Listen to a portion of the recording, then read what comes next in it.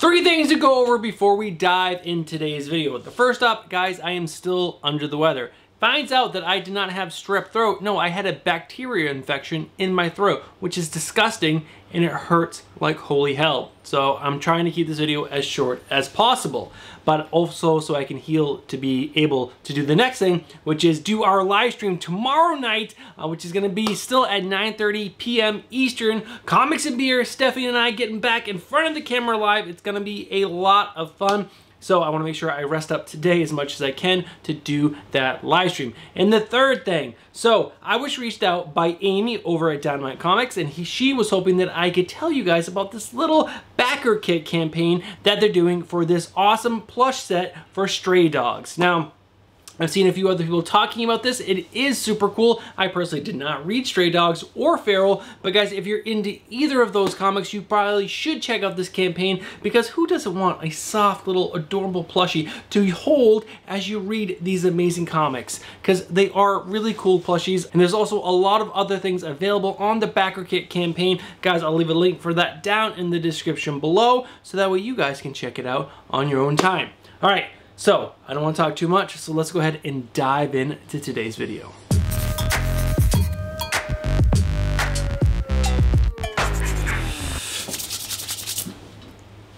What is going on, comic book fans? Welcome back to the channel and welcome back to another Final Order Cutoff highlights video. In this video, I took a look at every single book that's coming out on this weekend's Final Order Cutoff, and I tried to pull out all the really cool, exciting things to share with you guys. I'm talking about all the best covers in my opinion. I'm talking about all the best new number ones to read, in my opinion. Now, since I am a little under the weather and yesterday was rough, I took like three nap, no, two naps yesterday, each for like over half an hour each. I just wasn't feeling it. So I didn't have time to do any speculation work um, for today's video, so there will be no spec stuff on today's video. I'll also be sharing all the really cool things that I found, and there are a lot. So, what is the other things I need to tell you guys? I need to tell you guys about this weekend's final order cutoff order deadline dates. And that is November 11th of 2024 by 5 p.m. Eastern. So if you guys are interested in picking up any of the books on today's video, you guys need to get your pre-orders by then.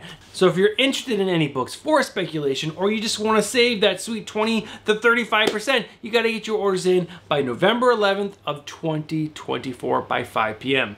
Um, what is the other thing? Um, I record this video early. I'm recording it on Thursday. Today is Thursday, November 7th of 2024. And all the publishers have until tomorrow, Friday, November 8th at 5 p.m. Eastern to lock in officially what books are going to be on this weekend's final order cutoff. So that means they can add or remove books after I record today's video. But I record this video now because it fits within my schedule the best. So you guys should be making sure you do your own research because a book could be added or removed after I record this video. And I think that's it. At least that's going to be it for today. I have no more in me. So let's go ahead and move over to my favorite part of today's video, and that is my cover liver picks. Now, if I think a cover is spec worthy, I will add the little marker up on screen to let you know that I think that book couldn't possibly move well on the secondary market, either right out of the gate or in the future. But again, I did not do any research to anything in the guts of any of these books. So make sure you guys are checking Left Lefteros in the comic book frontier. All right, guys, let's move on, or in covrprice.com. All right, let's move on. All right, so my first cover that I really like is I Hate Fairyland, issue number 18. This is the cover C. It's done by Skottie Young. It's a 1 in 10, but guys, there also is a 1 in 25 ratio variant, which is a black and white ratio variant done by Skottie Young. And those black and white 1 in 25s have sold well on the secondary market. I'm talking specifically talking about the Skottie Young ones, so I would keep an eye on that one. And this one is really cool. If you look at all the little characters on the cover, it's fantastic. Next up, The Scorched, issue number 36. This is the cover B variant. It's done by Vaughn Randall. And man, does she spawn, or lady spawn? No, she spawn. Look absolutely fantastic on this cover. I love it. Next up, Top Cow, Holiday Special, all through the house. It's a one-shot, and the art is done by Arif Paternino, even though it kind of looks like Marc Silvestri, especially things that, I think that is his signature on the thing, but League of Comic Geeks has it as Arif Partino? but I'm pretty sure it's Silvestri, but this cover is really nice. I like it. All right, guys. Next up, we have Absolute Superman, the Noir Edition, issue number one, with the cover C foil virgin variant done by Rafa Sandoval. This in a foil would be absolutely fantastic. I think it would just be so cool. Now next up is Action Comics issue number 1078. This is the cover D. It's an artist spotlight special and it's done by David Nakayama. It is so good. I stopped reading Action Comics and yeah, I'm gonna be picking this up for this cover. Next up, Batgirl issue number two with the cover B variant done by Jorge Jimenez. The cover A is also pretty good as well, but this one right here by Jorge Jimenez is fantastic.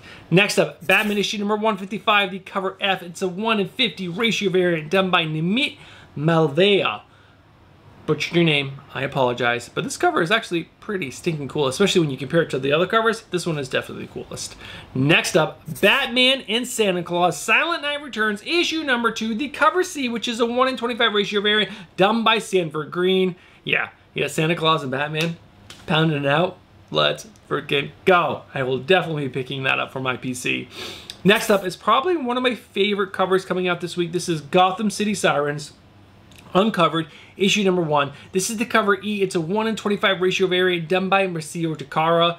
Now, Marcio Takara is the main artist on Poison Ivy, and I love his renditions of Poison Ivy and um, Harley Quinn, and now he's added in Catwoman as well. How good is this? He is such an underrated artist in my opinion, and this cover is just so fantastic. I just wish this was an actual comic book.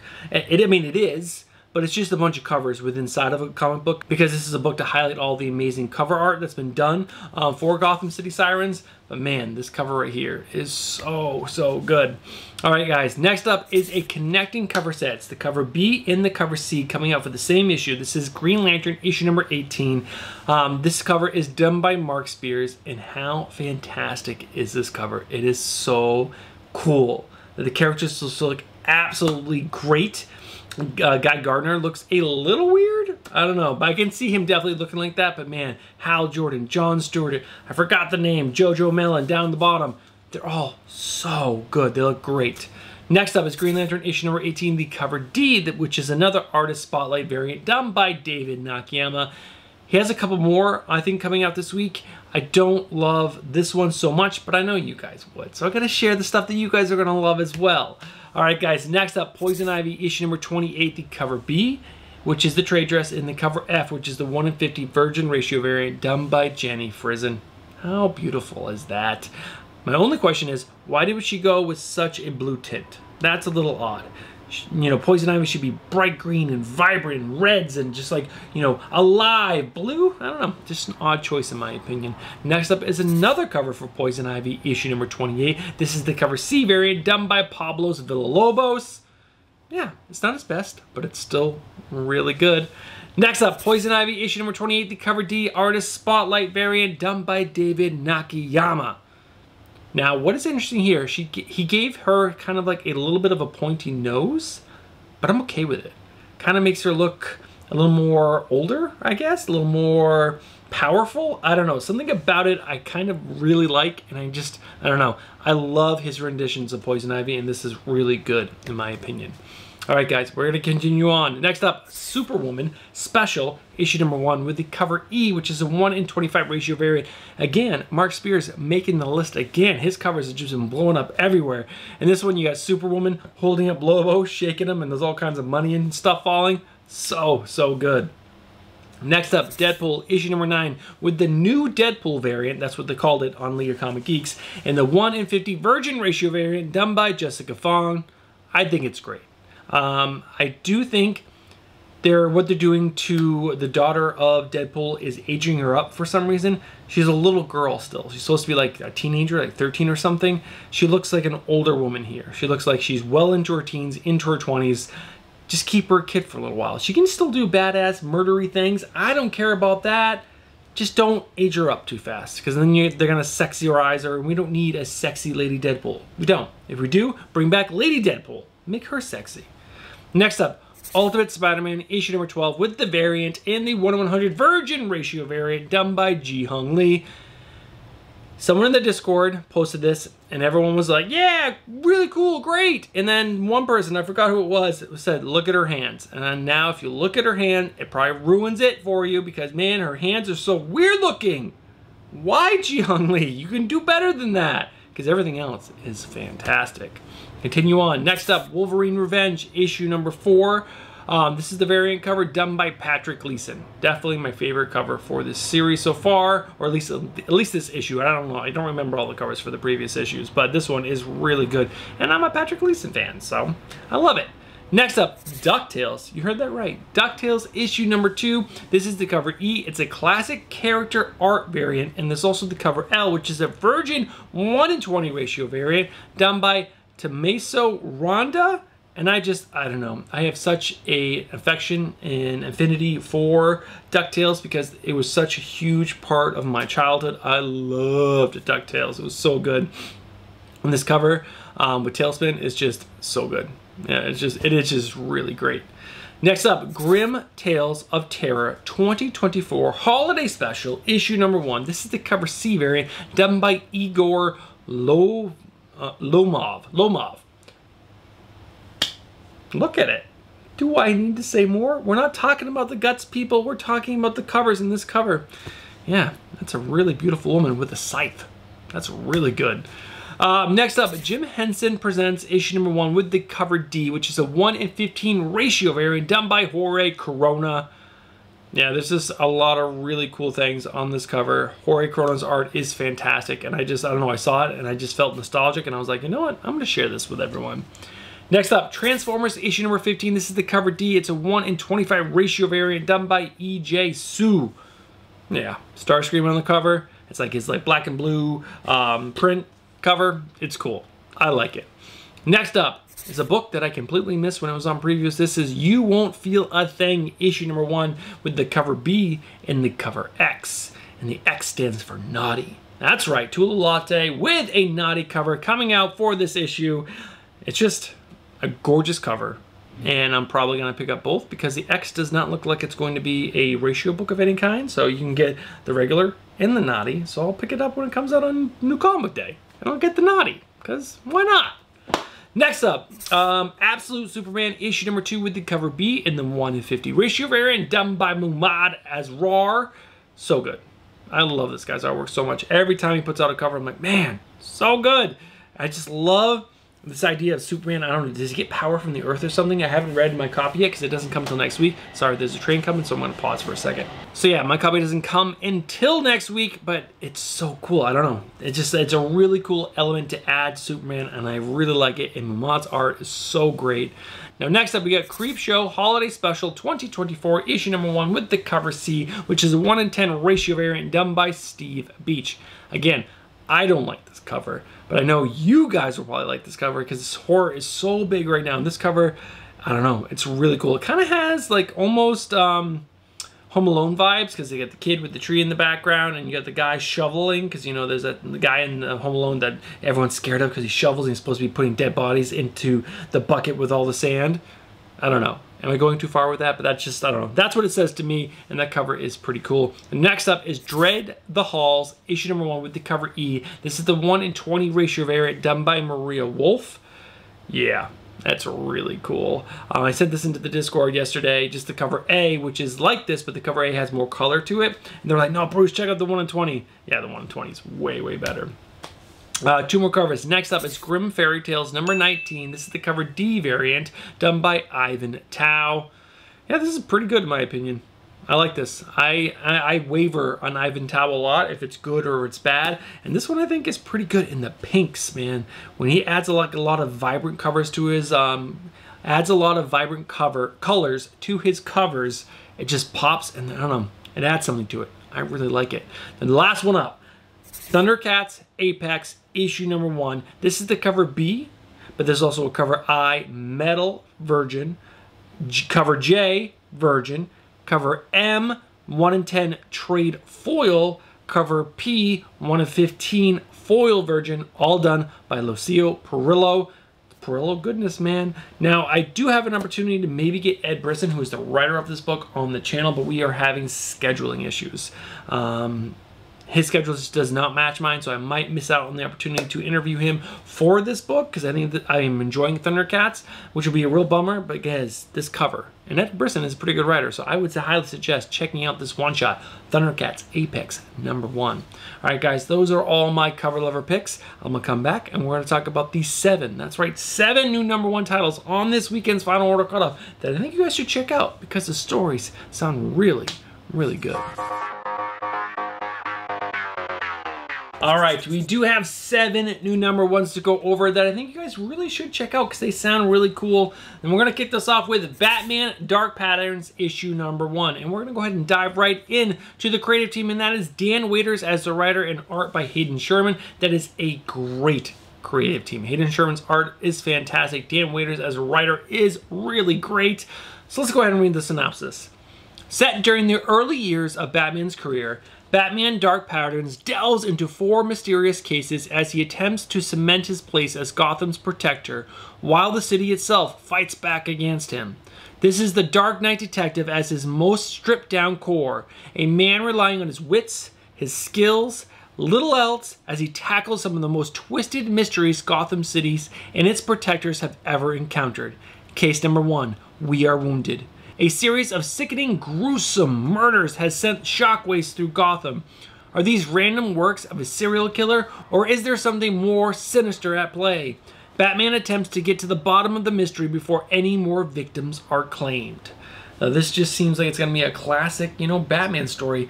Early in his career, Dan Watters is going to take him on this journey, and I just cannot wait. And Hayden Sherman's art is so, so good. Now, there are um, two covers that have been released so far. There is the cover A, which has like Batman putting on a shirt.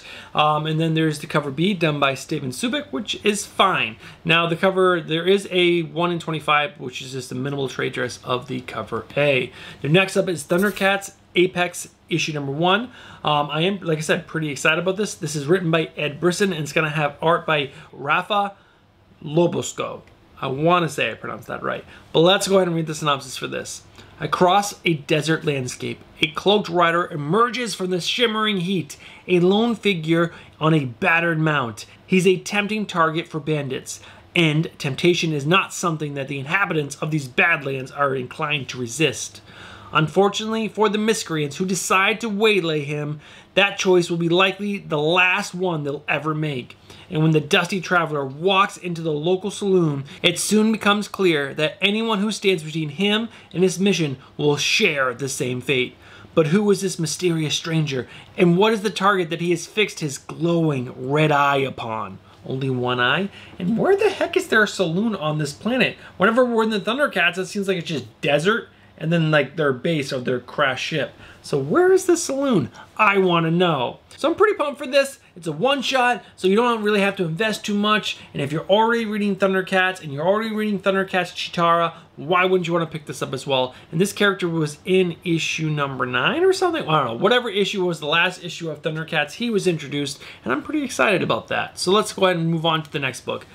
Superwoman Special, issue number one. Now, I normally would not be excited about this book. I would be like, hell freaking no. But if you've been reading Superman, written by Joshua Williamson, you would know that this run is, it's just different. It's just different.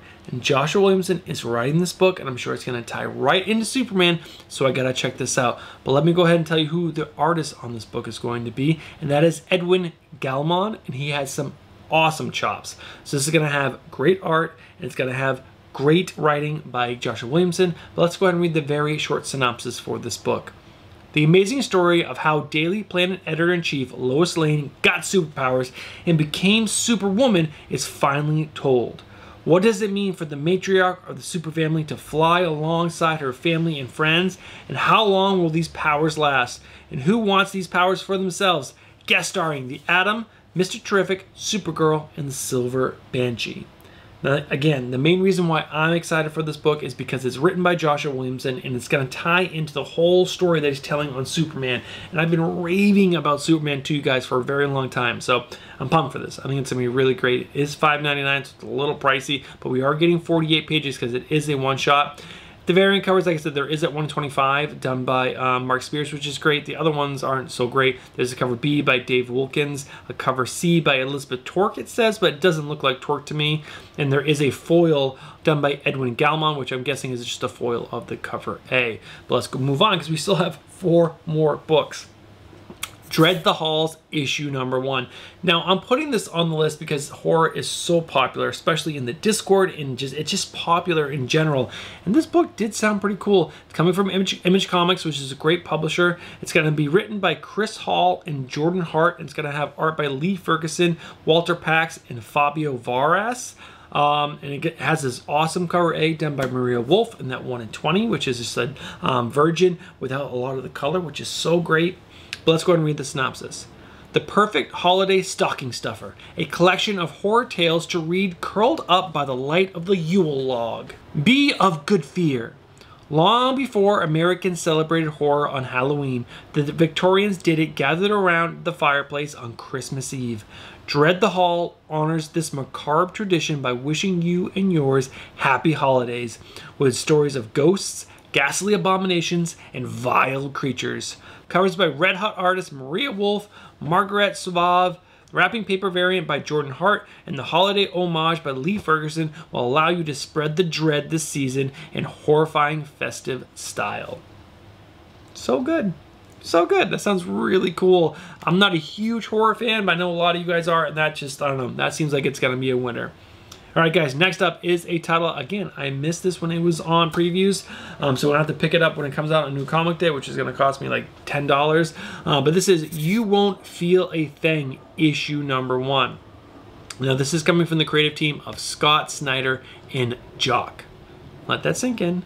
Scott Snyder and Jock back together again. And this is just, I don't know, when those two get together, you just have to pick it up. Now, let's go ahead and read the synopsis.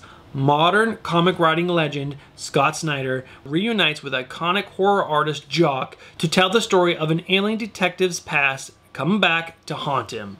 Years ago, Jack Bernard was an accomplished homicide detective, so accomplished that it cost him everything else in his life. Now Jax finds himself alone, trapped in a retirement home with a brain tumor that's slowly sapping his once keen mind of all memories. But when an ice cold serial killer case from out of his past rears its head, Jack must call on all his remaining memories in order to stop a killer that only he still believes really exists. You Won't Feel a Thing is a sobering murder mystery exploring the anguish of a man whose own body and mind is turning against him, and the desire to find meaning in one's own life before it unravels. So good. So good. Um, now, I already showed you guys the cover B, and I've already shown you the cover A. It should have been on screen for most of the me reading that uh, synopsis. Um, there's the cover F, done by Jae Lee, which is creepy. What's up with all these teeth? Um, there's the cover G, which is a blank sketch. The cover X, which is that naughty Lotay. Um, the cover C, which is a 1 in 10 um, variant done by Marcos Martin. The 1 in 25, which is the cover D, done by Eliza Ivanov. And then there's the cover E, um, which is the final cover, and it's done by Oliver Brett. So that is pretty cool. That sounds awesome. It's Scott Snyder. I pick up almost, oh no, let's be honest. I pick up every single book that man um, writes, even if I don't um, like the synopsis. I just trust in him to tell a good story, and almost every book comes through. All right, guys, two more books. Next up, Two-Face issue number one. Now, this is coming from the writer of Christian Ward and has art by Fabio Varas. Um, and this is about Two-Face, and that has me excited. Now, Christian Ward, correct me if I'm wrong, he normally does the interiors of book. He doesn't do the writing, right? So he's switching over to be a writer now? I don't know. Let's find out. Harvey Dent's greatest trial begins. After years of internal conflict, both halves of Harvey Dent have reached an uneasy peace. In DC's new Two-Face series, Harvey uses his skills as an attorney to resolve the conflicts of Gotham's weirdest and most dangerous criminals, starting with Victor Zsasz. When Zsasz is accused of murdering a fellow member of Gotham's underworld contingent, who better to prove a criminal's innocent than someone who's been on both sides of the law? I don't know. I am so um, all in, I guess you could say, even though this says it on the cover and that's so cheesy. But I love Batman and I love Batman's Rogues Gallery and all of the villain books that DC has been pulling out have been really, really good at pulling out, putting out. um, have been really enjoyable. I've liked them all. Penguin, Joker, now Two-Face, Poison Ivy, like so many great, great books. Um, there are some really cool covers. Um, Christian Ward did the cover B, so he is the, I think, mainly an artist. Um, there's the cover C done by Chris Samnee, and then there's a 1 in 25 done by Leonardo Romero. All right, guys, the final book that we're going to talk about is TVA issue number one. Now, the reason why I add this, added this to this list because looking at this cover by Pepe Larraz is so good, and we get so many characters that have been on the big screen, the small screen, and also in our comic books. So it just it's drawing me in and it's pretty cool that they're taking something that was a, like from the tv series um, loki and bringing it in and giving its own little world in the marvel universe in the comics the 616 and if you've been reading um, spider-gwen ghost spider you know she's been working with the tva agent which is pretty cool. So Let's go ahead and find out who the creative team on this, and that is Katharyn Blair. Now, I found out that she is the writer of Loki Season 2, or was one of the writers in Loki Season 2, and the art is done by Pierre Perez. Now, let's go ahead and read the synopsis. For all times, always, the Time Variance Authority has long watched over the timeline, protecting it from dangerous variations that could cause the end of everything. Now, as the organization begins to expand its tolerance of variance, it's enlisted some new recruits from timelines that have been wiped from existence. Captain Peggy Carter, super soldier of her world, Gambit, despondent and aimless from the loss of his lady love, and this, this can't be right. Spider-Gwen? Has her world been destroyed? Writer Katharyn Blair, Loki Season 2, and artist Pierre Perez he was the artist on Carnage and Spider-Woman, bring a touch of cinematic flair to the bureaucracy at the end of time. That just sounds, I don't know, it could be pretty cool. I don't know how her writing is going to be because she hasn't written a comic before. Um, and there are some pretty cool variants for this. There is the Humberto Ramos Miss Minutes variant. There is the 1 in 25 um, Carmen Carnero variant, which is more Miss Minutes. And then there is a 1 in 100 Humberto Ramos Miss Minutes Virgin variant. All right, guys, those are all the new number ones that I think you should consider adding to your pull list because these sound really good in my opinion. Now, I gotta stop talking. I've already talked spoke way too much. I can tell I already went too far. So let's go ahead and wrap this video up. All right, guys, I'm gonna keep this short and sweet. I'm gonna thank every single one of you who watched that video, especially if you watched from the beginning all the way to this point right here. Um, you guys know what you are. You guys are legends. Now, if you guys haven't smashed that like button just yet, do me a favor, smash that like button. And if you watch that video and you enjoy comic book content and you're not subscribed, well, what are you doing? Get yourself subscribed, hit that bell for notifications, then smash that like button. Last but not least, a quick reminder, two actually two reminders. There is that backer kit um, for Stray Dogs plushies. Um, check it out, guys. It's really, really cool. Trish Forstner um, and I forgot the writer of the book for Stray Dogs. Um, they put that all together. Support them. It's really cool. They're almost halfway to the goal of $20,000. It's like $9.99 or something like that. So if you're into that, support them. Really cool. Last thing I gotta remind you guys about tomorrow night even if I'm sick, I'm coming to do the live stream. It's gonna be epic, it's gonna be awesome. Episode 104 of Comics and Beer. I probably won't drink because it'd probably be really bad to mix amoxicillin with um, alcohol and probably reverse the effects of what it's trying to do. But the show is going to go on. We're going to do it. It's going to be amazing. I hope to see you guys there at 9.30 p.m. Eastern. It might be a little bit later. We might come on late. We got family stuff to do. Um, but we want to go on earlier because we're old and we want to go to bed. So hopefully 9.30. Be there. Be square. Have yourself a great final word cutoff. I'll see you guys tomorrow night on Comics and Beer, and I'll catch you guys in the next one. Peace.